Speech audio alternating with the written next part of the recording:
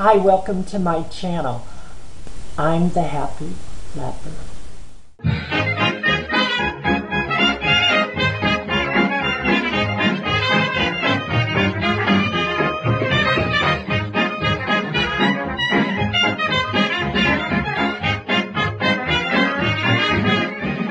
Today we're going to make the 1920s bloomers and I'm giving you a free pattern in the link below.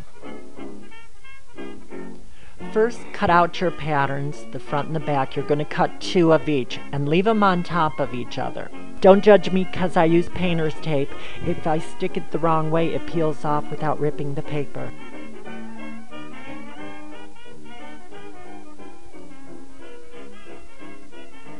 You're going to take the two bottom halves and sew the upper crotch curve and the two front halves and sew the front curve.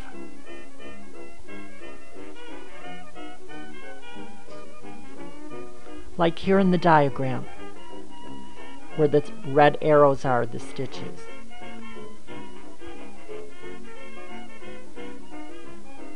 Then you're going to open them up and place them right sides together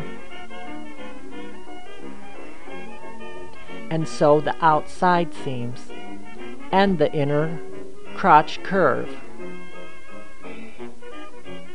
And that's it. Now you just embellish it. You could put lace on it, you could put bows on it, you could put a top waistband on it.